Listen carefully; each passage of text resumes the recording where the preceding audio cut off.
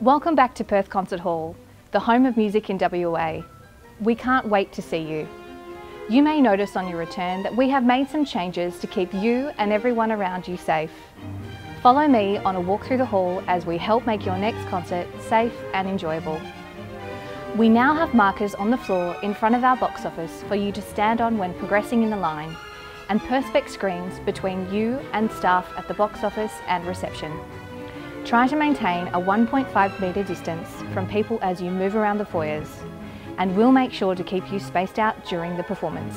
Please wash your hands with soap and water before the show and during any breaks to decrease the spread of germs. Make sure to use our new sanitising stations even after you wash your hands. These are available all around the building. Ask our friendly team for directions to your nearest station.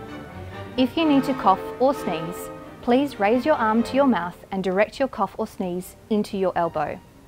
If you can, aim for sections of loud music during the performance to cover the sound. Make sure you have the Safe WA app installed and active on your mobile phone to scan the QR codes before entering the venue. Finally, if you are unwell, please don't attend the performance. Contact us before your concert date to discuss the options for your ticket. We're here to help. Here at Perth Concert Hall, we are doing our part to make your next concert a safe and enjoyable one. With your help, we can do this together. Thank you for joining us. We can't wait to welcome you back to WA's home of music.